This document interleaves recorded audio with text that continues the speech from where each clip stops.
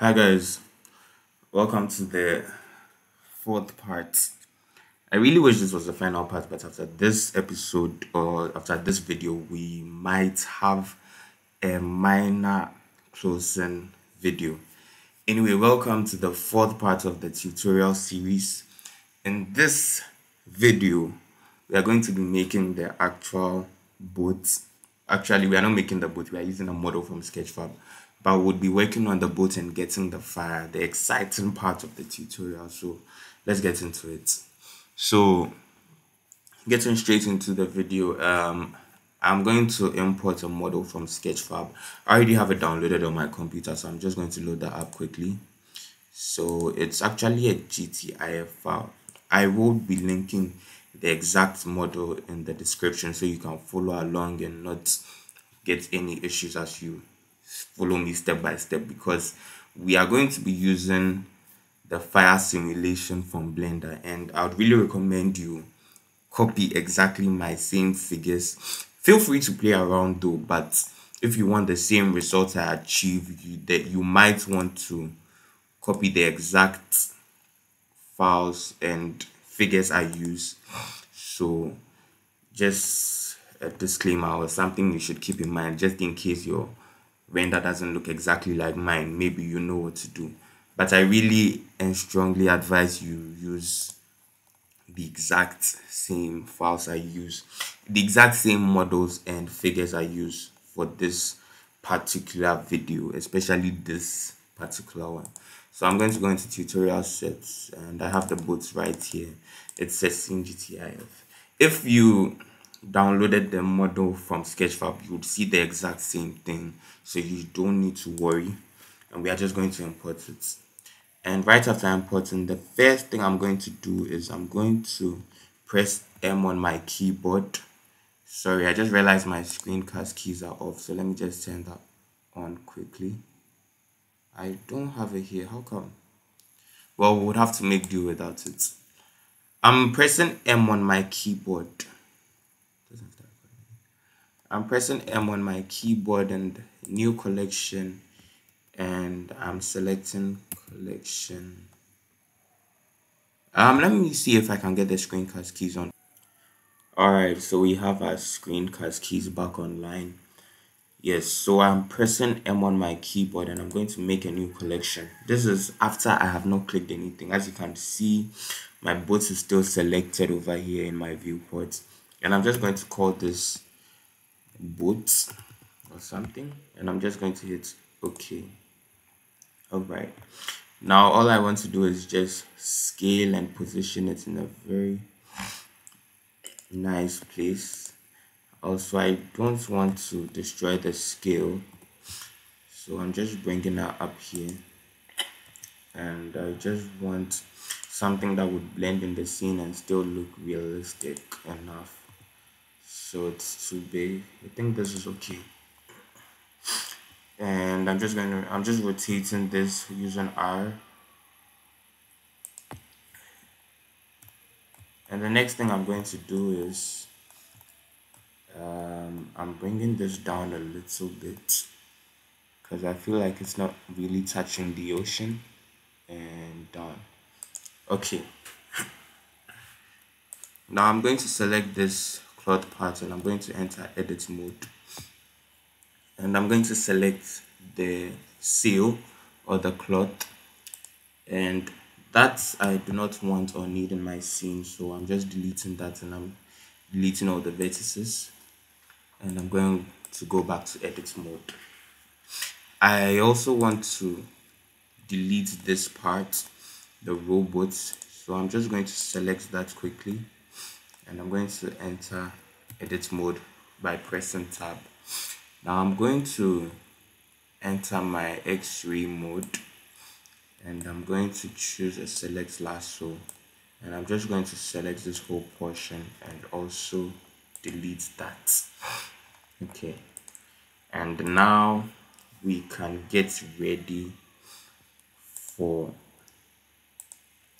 our boat so we're about to burn the boots. So before that, the first thing we want to do is we want to scroll down over here. And on both we just want to duplicate our collection. This is just to prevent any accidents or anything. It's not it's not really necessary but i highly recommend you duplicate your collection. It's more like duplicating the entire boat and we are just going to turn this one off. It doesn't really matter. You can leave it on but to prevent confusion i suggest you turn off. Okay. And once again now i am come to join the parts of this boat that's for the second model that we have right now. So this part you can see it's not connected to the other parts of the ship we want one whole ship so this and this and i'm pressing ctrl g to join them. We also have some ropes that are not joined so control and j. And now we have one full piece of the ship. Okay. So the first thing we are going to do is i am going to hit object right here and i'm going to select quick effects and i'm coming down to quick smoke. And we are already in the process of working out this boat so now i want to um so now i'm going to go into my physics properties. And i am going to start off with the mesh. So i'm going to select this right here. And i'm going to start and i'm going to change the flow type to fire so we are changing this to fire. This is going to be fire. We are going to leave the flow behavior at inflow we are going to make sure use flow is still checked. I'm going to take my time over here so you guys can get the exact same settings i use. Once again like i said to prevent confusion. Okay. Now for the four we are going to change i will increase that to 2 and then we are going to scroll down now we are going to expand on flow source. And we want to change the surface emission to 1 change the surface emission to 1 okay. And there we go. That's all that we are doing for just this part of the body. Now for the second part we are going to click on the domain or the smoke domain just here. And the first thing we want to do before we even change anything is move to scroll down. Want to scroll down and change from replay to modular. This is going to allow us to bake our animation to prevent our project file from lagging. So the first thing we want to do is to bake our animation. So first of all we are going to change our resolution to 128 if you are not using a very good computer then i recommend 64 as your resolution but 128 is also good. Then we wouldn't touch anything again until we come down. And my pc is already becoming a little slow. We're going to scroll down and under. We are going to check adaptive domain. We are going to change vorticity to 0.1 and then we will change. We are going to continue scrolling and we are going to work the fire. Now the fire we are going to change flame and smoke to 0.05 and click enter. We are going to change um, vorticity to 0.1 again. And we're not going to change and that's all that would be working on for now. Now you could adjust your animation depending on how long it's going to be. Because of time i'm just going to do or bake a hundred frames so flame starts from 1 to 100 if you want the um, flame burning before you could also make it negative 50 so that by the time the timeline starts speaking of timeline let me add a timeline quickly right here. So timeline. So that by the time the timeline starts at one your boat is already on fire. If it starts from one it's now going to ignite. Okay. So um, i'm going to change that back to one because i do not want it i want it to start off and ignite or i want the flame to grow larger and now we are going to work on the material of the smoke domain. I want to finish all the settings before we render it and look and before we bake. So for our smoke domain, we are not even going to touch anything here right now. We are just quickly going to add an attributes node. And in the attributes node, you want to spell heat and make sure you don't spell it wrongly. If you spell if you if you make a mistake with the spelling, it's not going to work. And we are going to add a color ramp two color ramps actually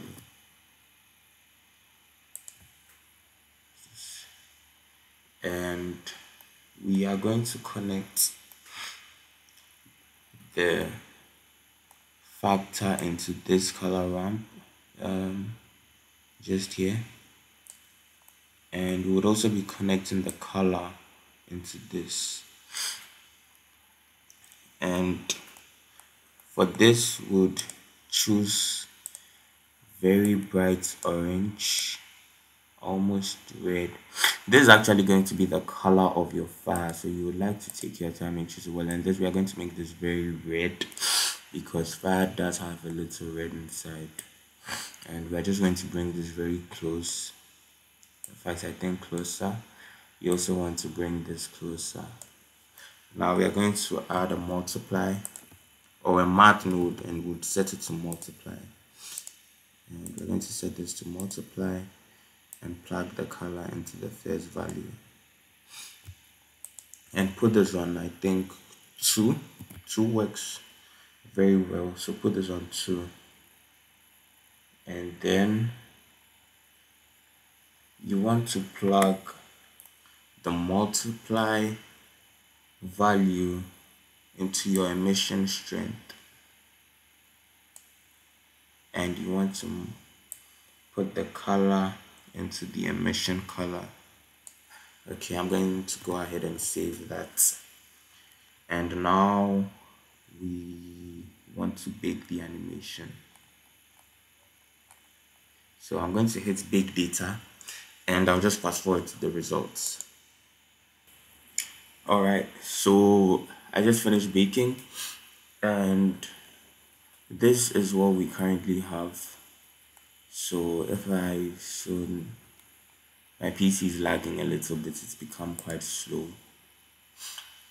But yeah so um if if i enter my rendered view right now just so you guys can see you begin to see that we actually have fire.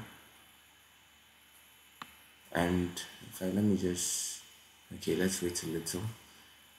Uh, sorry I don't have a very fast computer. But yeah um and that's a screen I also don't have a G I don't have a working GPU oh what? What is that? Okay so I think for this I'm just going to work on the materials because it's not supposed to be this red or maybe it's even along the animation. Okay let me just move deep into frame 35 because now it's done baking let's just see if things get fixed.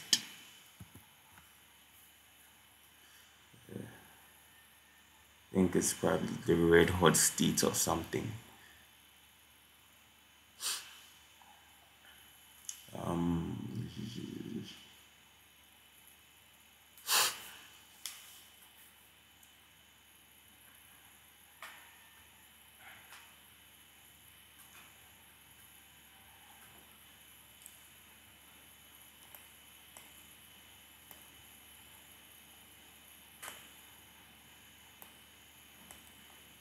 okay so i'm just going to work on my material quickly. I think I made a mistake with the material. It's actually supposed to be the yellow at the side where the red is and the red at this side. So i'm just editing that quickly for you guys to see. And i want to switch back into solid view. So i'm switching back to solid view. And make Uh, it's it's slow it's slow i i hope you guys don't have your computers crashing out there.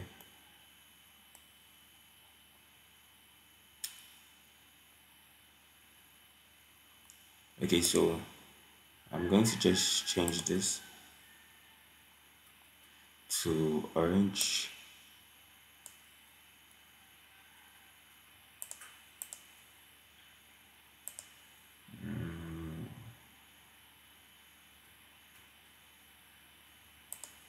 okay. Oh blender blender blender just has to crash.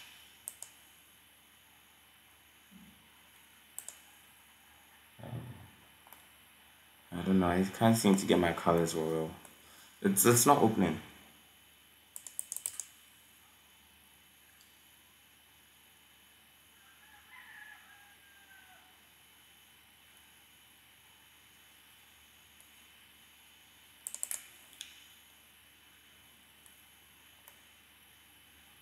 this is the simulation in blender or fire simulation gets it becomes breathtaking.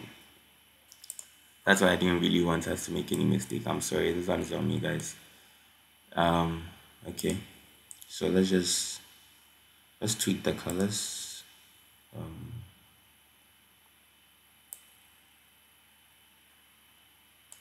yeah, I think I just need to zoom in or I should probably just delete this whole color ramp and do it again. Okay I think that's a good idea. Okay so you know what? I'm going to delete this color ramp. I'm going to press X to delete it. Okay and I'm going to re-add a color ramp all over again. So I'm pressing shift A and I'm searching for color ramp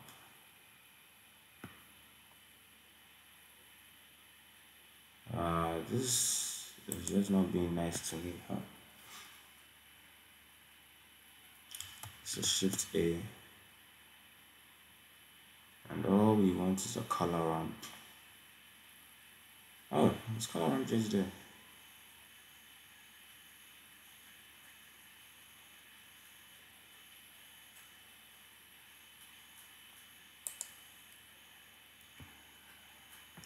Okay, so color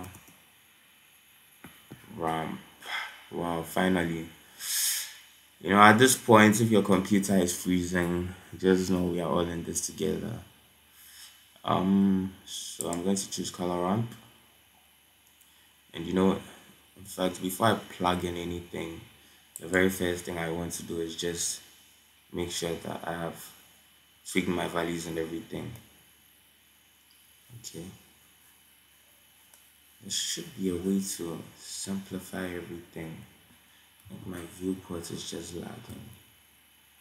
Um, oh, I think I should just read the date. No, but I can't bake again.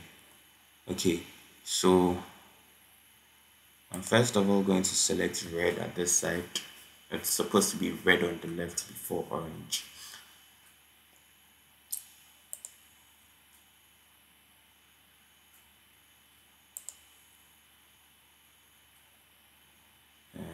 To increase this wow. Okay.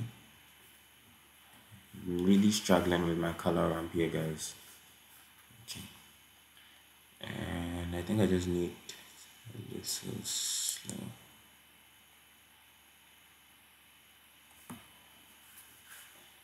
Okay. Just bring it up a bit okay and the first part is red. So we're going to select red for this part. So we want a very dark red color. Okay. And for the second part which I'm currently selecting hoping it will change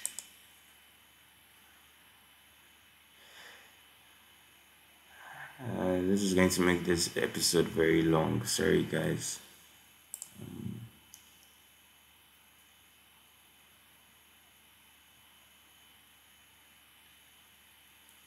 Um,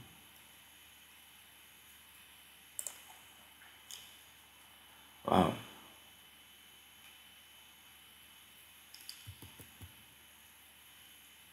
Um, for this side we're just going to choose very orange color. We have only one shot because we can't wait for all this again. So I'm going to choose just around here. The orange just here. And come down a little to just here. Okay I think that's exactly what we need. Drop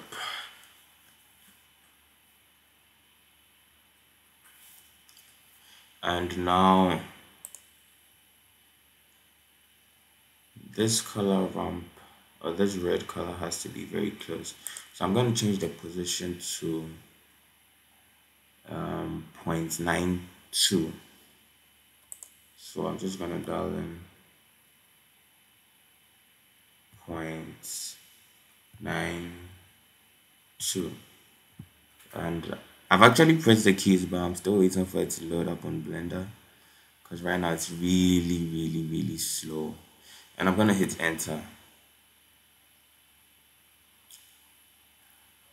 And yep we should have our burning boat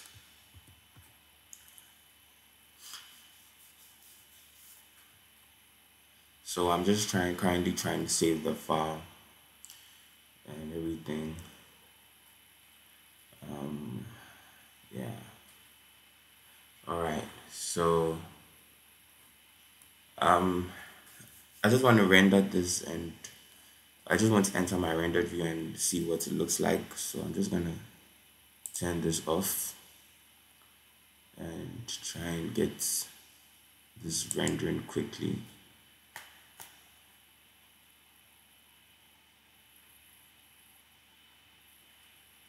So let's see what that looks like. And it's white that is because we haven't plugged in our sockets. How did i forget?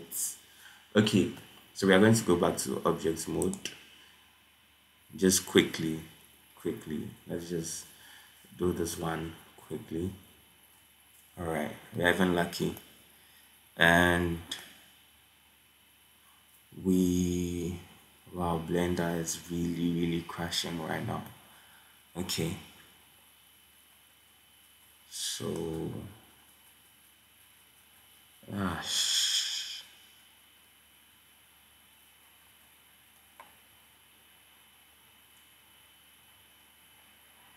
um so we are going to connect the FAC into the factor over here. Sorry i'm not swearing please. Fac is for factor i'm not swearing. And that's exactly where we want to put it. And we are taking the color into the emission just here like we did initially. And it's not connecting. Ah. let's just do this. Still not connecting. I think we need to press and hold this for a while. Just bring it here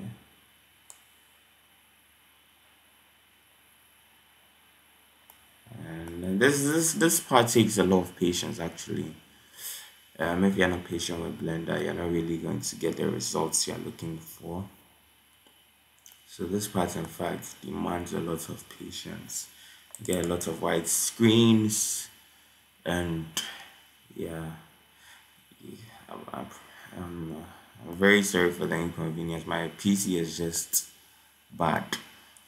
But if you want more content, you can subscribe to my Patreon. I'm trying to get enough to buy a better computer and make more and better amazing tutorials. So we are going to take the color. Ah, I broke the link. Okay.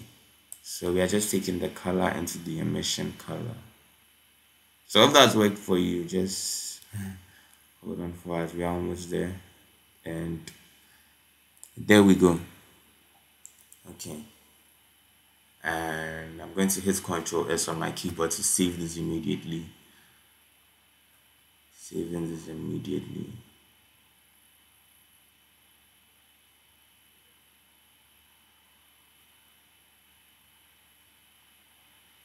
And now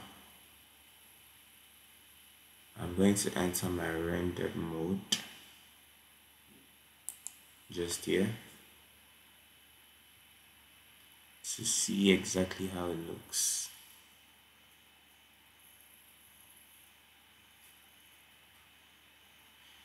And hopefully, oh, I really need a graphics card. I really need a graphics card.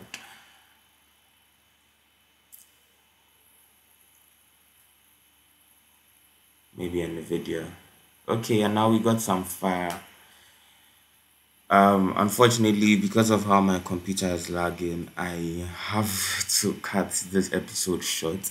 But in the next and final episode, we'll be working on how to make this boat realistic. You know, right now we just have the fire, but in real life, or if you live on planet Earth, you know that fire doesn't burn a boat to fully. So we are going to burn only portions of it and still make it look like the whole thing is burning. Maybe we would even add some sparks or some things, stuff to float around. But that's all going into the next episode. So I think the next episode would also be our last episode. So please hit that subscribe button, like the video, share the video. I'll see you in the next video.